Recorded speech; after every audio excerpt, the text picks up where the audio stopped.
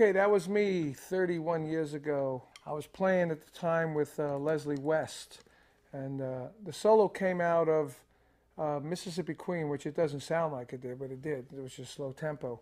Mick Jones was our guitar player, Kenny Aronson on bass, great, great players.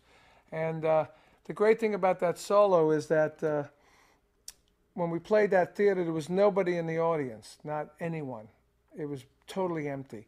And so when I got the audience clapping like that, you know, they told me to do it and they will overdub the audience in there. I, I tell you the truth, after they finished doing it, I was so surprised how good it came out that uh, it blew me away.